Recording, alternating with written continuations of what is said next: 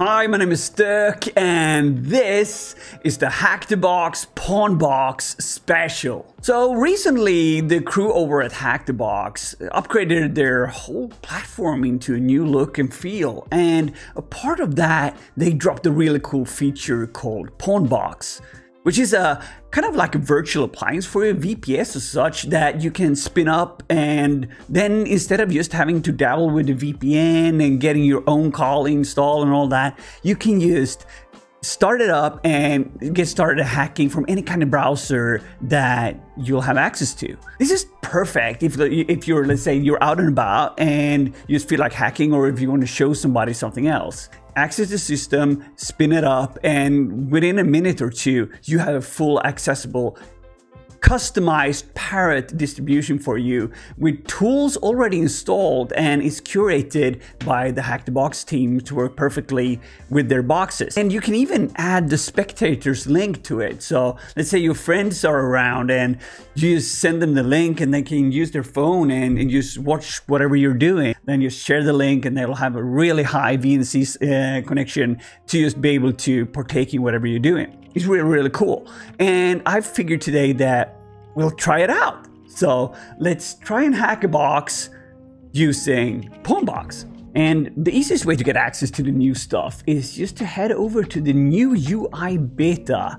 And uh, when you straight, straight in here, you just push the bell over here. And instead of using your normal VPN, hey, we're doing Pawnbox.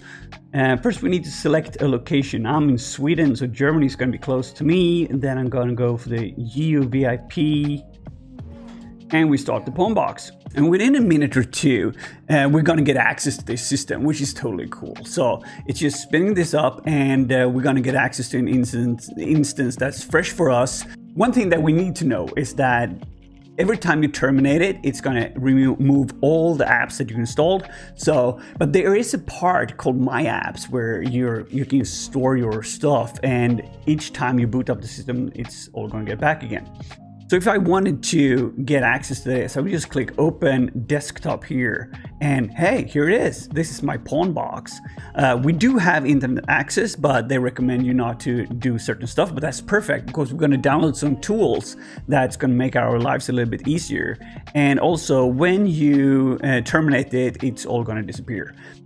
It's crucial to understand that once your session is done, you kinda need to shut it down because this is only around for, uh, you only have 24 hours a month to run this. So once you're done, shut it down. So first off, we, um, we want to start with prepping it with some of our tools. So I'm going to open up the terminal here. I could either just use this terminal here inside this web interface, or I can go back here and says say that I wanted to open up a SSH session, and we get the password from the hack the box system. It's up here, so you just down this one, get the password here, and we have access to the shell here. So we can either just use this one or we can use the one inside this one here. Both work the same way, no biggie. But instead of using the local terminal or the SSH client, we, we just gonna do it web style. So first we need to get some of those tools installed and I want to speed things up. So I prepared a little bit of a script here. And since I'm copying things from my local computer over to uh, the Hack the Box system, I have this copy thing here. And if I paste the stuff that I want to have in here, it's just going to enter the clipboard and voila, here we go. And what we do now is that we're installing Hackcrawler, we're gonna install HTTPX, and we're gonna install eh, FFUF because those are tools that I usually use. And even though this is a predefined web box and the Hack the Box team has done a lot of cool work with preparing this for their environment. I'm not usually using GoBuster, so I, I need to use tools that I'm comfortable with. And while that's installing, we're just gonna head over and spin up a box for us to hack on. So let's go and find WriteUp, which is a good web box for us to play around with. And spawn that machine. And in the meantime, we can just check that we have everything installed. So let's do a Hackcrawler. And we can see that it's installed and ready for us. Perfect. Okay, the box is up, so let's just take this box here, copy that IP, open up a browser. Smash that one in there and see what happens. Okay, and here we go. And what we can see here is that this box says that it has a DOS protection. So if we were doing some content discovery and trying to find stuff, the more 404 that is going to hit, and hey, if we throw a raft list at it or any other sick list thing, eh, it's just going to um, 404 out and DOS us and get us banned. So we're not going to do that. We're going to play it a little bit safe. So normally what I would do is just, um, I would open up Burp here and, uh, and send the traffic over to Burp and see what's going on. So let's start with launching the community edition of Burp. We're doing a temporary project using the defaults and just getting burp up and running. Okay, so we're gonna get into Extender and I would love to get me some Flow or Logger++ plus into this. And we're gonna do Logger++ plus for now so we can see whatever kind of traffic that runs through our system. So that's installed, let's just verify that we're not using scope only because we haven't set a scope yet. We can head over here then traffic over to burp and this is all preset for us so it's really really easy for us to just play around with it let's remove the interception open up the logger plus plus view and, uh, refresh Cool. So what we could do now normally, if this was the pro version, we can probably use, or older version, we can spider from here. That doesn't work. We can't just create a task for us to crawl the website because this is community edition.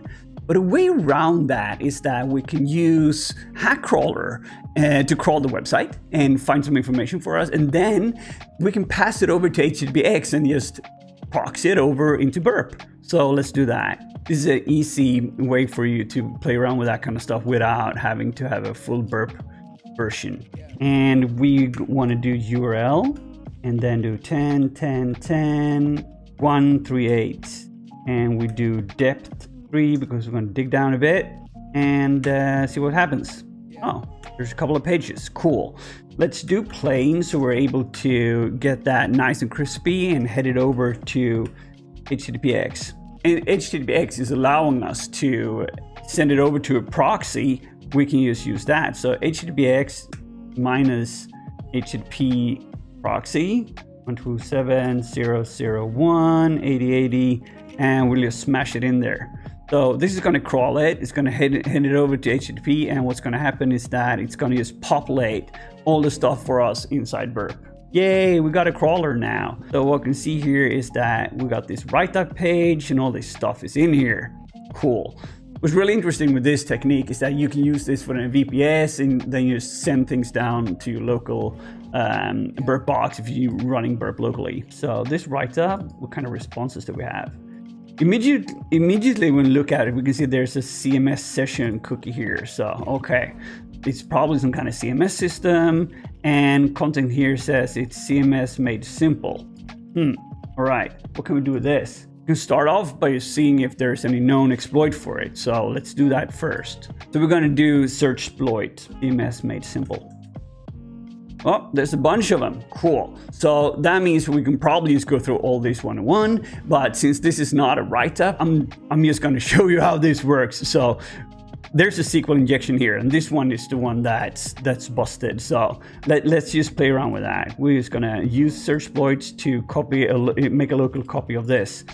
We do it the kind of the same way. So we do search exploit minus m and the path to the exploit.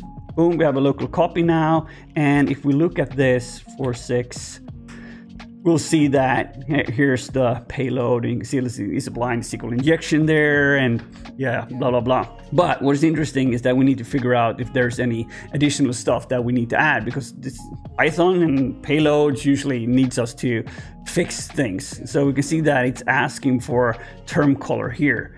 So that's probably going to need to be installed first. Uh, so let's see whatever happens if we just we just python this. I get sad, right? So so let's install pip. So sudo apt-get install python pip. Boom, here we go. Okay, so we got that up and running. Okay, let's install it. And there we go, colors in. Okay, perfect. So now it's asking us to add the target. So let's do that. So we use u http 1, 10, 10, 10, 1, 3, 8, and right up. and that's just kicking off and what it's doing now and that it's brute forcing slowly through the um, the blind SQL injection to you know trying to get the salt trying to get the username getting the the hash and everything about the password and what is really cool about this is that if I now were to send myself a spectator link, let's say I wanted to copy this here, spectator link, and and send it over to my iPhone, what's going to happen is that it's going to open it up on my phone here. So I can just flip this around and I can now look at whatever goes on uh, inside um, inside the box is really, really cool. So if I'm moving this one around here, yeah, it's, it's moving on my phone as well. So, and you can have a bunch of those. So you just invite people. Okay, so we got the username and password and everything. We're just gonna save these for later. And but what we're gonna do now is that we're gonna echo and we're gonna combine the password with the salt. Send it over to the hash. We can see it, there it is. So what we're gonna do is that we're gonna do hashcat method 20 and what we're going to do is we're going to put the hash in and we're going to go for opt useful and um, we're going to do, go for seclist because it seclist is in there it's already prepared for us. Leaked passwords and do the rocku.txt and smash that one away. Okay we didn't do the force we need to do that. And now we can see that it's going to try to brute force it for us. See what happens normally you shouldn't be recommended to run these on your uh, virtual machines. It's kind of slow, but hey, they kind of beat this uh, puppy up, so it worked really, really fast for us. So in a few seconds, we now have the password found, and it's RayKJ9. So let's do nmap and uh, p minus p. Good T4 for that nice speed. 10, 10, 10, 1, 3, 8. See what happens the dust V for verbose. And we can say we can see now we that we got SSH open. So let's see what we can do with that. SSH. The username we had was JKR, right? So we're gonna do that 10 10 10.138 and it's open. So we're gonna accept that. We're gonna smash in the password that we copied and we're in. And as we can see here, here's the user.txt which contains the flag. We're not gonna look at that because you need to kind of figure that out for yourself. But this is a way that you can play around with these kind of boxes. And if I was just closing my browser session and opening it up again, I can continue. If I if I was on a really slow internet connection, you know, it wouldn't be as problematic. I would probably lose connection and get back again. And, and I think it's kind of cool. I really like that it gives you this fully prepared box where you can play around with. What I'm missing though is a little bit of persistence. If uh, I would be able to install my software and just have it there for let's say the month or for my 24 hours and after those 24 hours then it should be kind of terminated. But i'm okay with that you know a, a quick bash script that's uh, saved in my data can just get the tools that i need installed within a few minutes. And it's a perfect way if you're streaming something or if you're playing around with friends or you're like you're tutoring and teaching a class then can you, they can just partake with the spectators link get a high res resolution on what's going on and yeah it's a really really cool way for anyone to just play around with this uh, without the need of having any deeper skills on how to install a virtual machine. So it's perfect for beginners. It's perfect for people that just want to have a few minutes to play around with stuff, but maybe aren't uh, having their box accessible with them or you know, maybe you're just hanging out with your parents or something and you want to show them some cool hacking.